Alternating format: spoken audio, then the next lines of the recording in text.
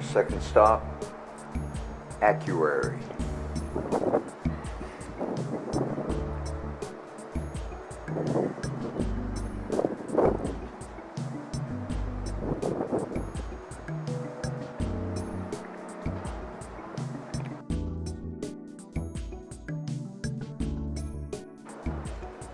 Quonset on a stem wall.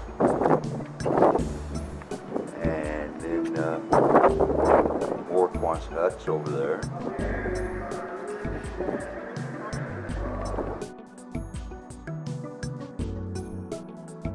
I think you did, um, or made a good choice, because we'll be visiting uh, the lake Mývatn. And on the way there, though, we will stop at one of the main attractions of sorts in northern Iceland, which uh, most visitors do see, which is the waterfall of the gods, because it is quite close to the city of Akureyri. From there, we'll drive on towards the lake of Mývatn, and Mývatn is often uh, described as uh, a must-see destination in the north. Uh, rightly so, because the lake, or I should rather say its uh, surroundings, are something you cannot miss. It's a very good example of um, volcanic activity and how the volcanic activity sort of dominates the Icelandic nature as a whole.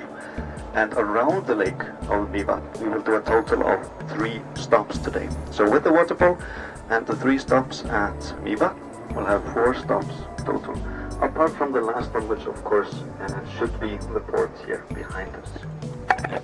Now, it is often called the capital of the north. Why? Because it is by far the largest Icelandic city outside of the southwest corner of the country, which is dominated by the uh, capital area around uh, Reykjavik. But Akureyri is the biggest uh, population center outside of that area, by a stretch, by the way. But uh, by all international standards, Akureyri is but a tiny town. It has a population of only 20,000 people, which, again, for Icelandic standards is huge. But compared to the rest of the world, Europe or the United States, for example, it would be quite a tiny place. But we take great pride in our beautiful town. Right ahead of us now lies the center of the city, very easily uh, reachable from the port. And if you look towards the left, you can see a landmark building. This is called Hof. It's a culture center. It's, for example, home to the largest concert hall in northern Iceland and also the Symphony of Akureyri. And one thing I must point out now are the traffic lights. You can see one if you look to the left now, the one we're driving by. The red light has the shape of a heart. This is the case with all red traffic lights in Akureyri. People love taking photos of themselves with the traffic lights. And uh, because of that, we've set up a special traffic light that's constantly red. You can see it here on the left hand side, behind the little trees. On the left, it's rather short. This traffic light is the selfie traffic light. So if you want to take a photo afterwards, please go there. And you can see some lovely red lights right here ahead of us now too. Alright, please support the artists, uh, buy their artwork. And now on the right hand side, the first theater built in Akureyri in 1906 is the year of its construction. And right next to it there's a building with a red roof. This used to be an elementary school before. Now it houses offices. My grandfather used to go to uh, school there. It was built there very conveniently, in between sort of two main neighborhoods that Akureyri had uh, in the years before. One being in the port area, or rather in between the port area and the center. We just drove by it. The other part is older because it's home to the oldest buildings in the city. Right now, on the right hand side, there's a black house on the right. This is the oldest standing building in Akureyri. Not the first one that was built, but the oldest one standing. It's called Laxdalshús. It was built 1795. And this neighborhood here on the right, the old town, is, well, used to be a very popular place to live and, and still is to this day. But now, everybody, we go over to the east side of the fjord. It gets a lovely view over Akureyri on the left. And if you pay very close attention, look towards the left, you can see that the cruise ships are there by the port. And then if you look a little bit further to the right, towards the mountain, you should be able to see a tiny waterfall. See it? Yeah? And then a little bit above the waterfall, there's a red semicircle in the mountain. This waterfall and the red semicircle, they share history. See, the red semicircle is the entrance to a tunnel that goes through this mountain here that's ahead of us.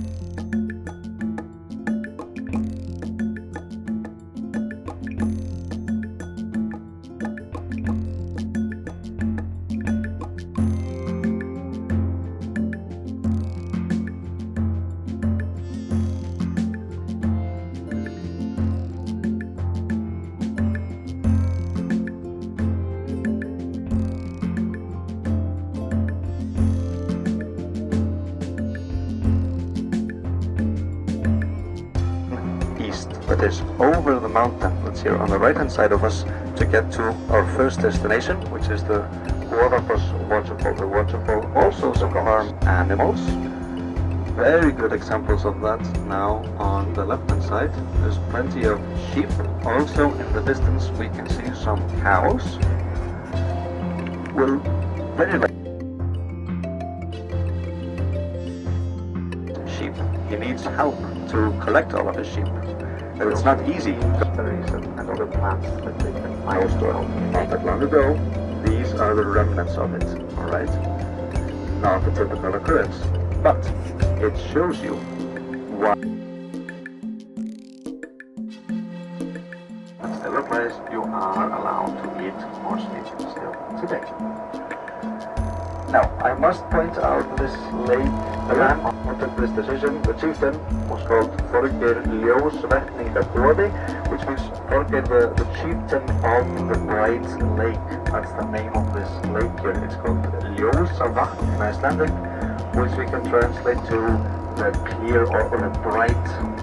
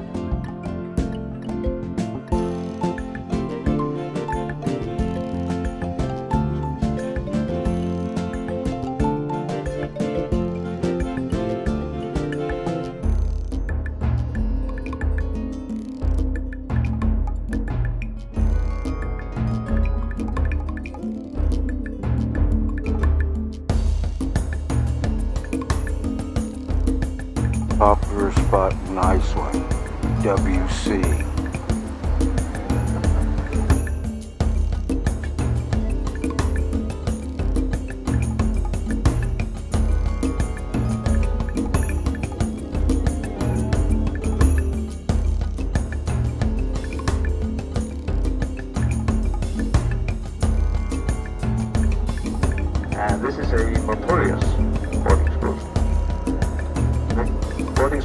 That the kids who study there go. A lot of people are just interested in the elementary.